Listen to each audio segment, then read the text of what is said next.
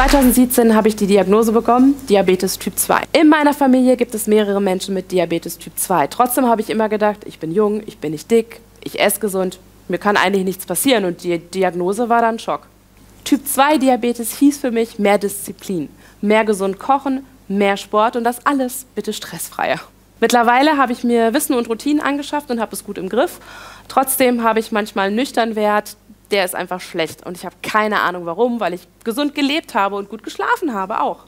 Sag es laut, sag es solidarisch.